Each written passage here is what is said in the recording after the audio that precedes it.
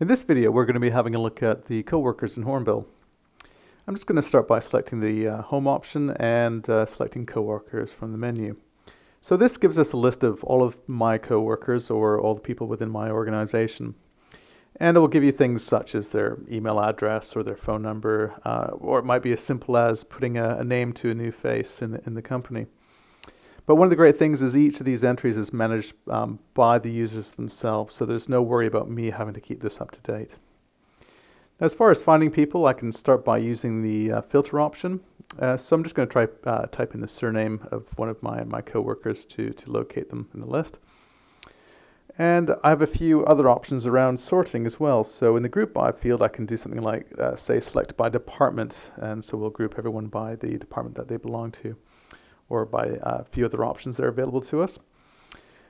Now there's also a way that you can change the view. Um, so this sort of provides an index type view to the list. So we see now that we have an ABC tab. So this is now going to contain people with a surname beginning with A, B, or, or C.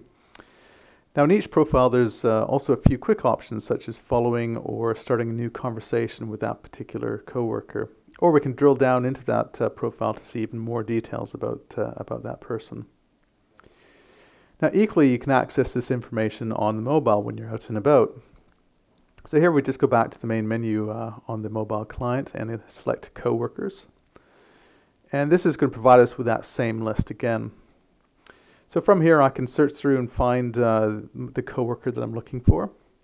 And I can select them from the list and drill down to see more of their details. Now from here I can do uh, a number of different things. Uh, for example, I could click on their, their email and in selecting that, that's then going to uh, give me an option to then send an email and that's interacting directly with the email function on, on the phone. Now that's also going to work with uh, the phone number, so I could dial directly from here. Um, and again, similar options uh, to the main client. I can follow or start a new conversation with, uh, with one of my coworkers.